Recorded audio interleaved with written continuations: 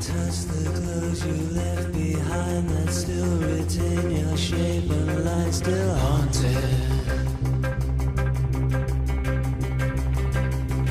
I trace the outline of your eyes blue in the mirror, hypnotized and haunted.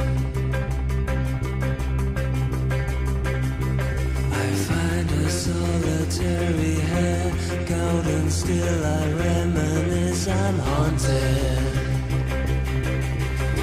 Haunted by your